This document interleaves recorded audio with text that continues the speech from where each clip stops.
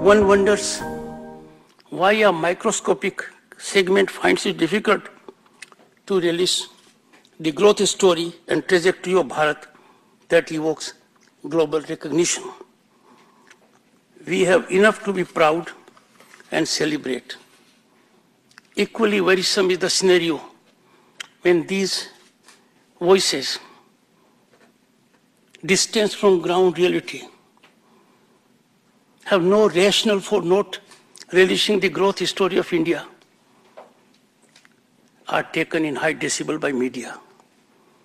I would appeal to the media that India is transforming itself at this time in a manner that its impact is being felt globally.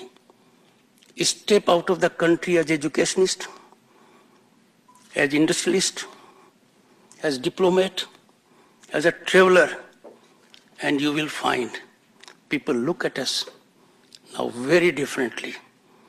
This India of 2022 has all the indications that we will accomplish what Shastriji had thought of.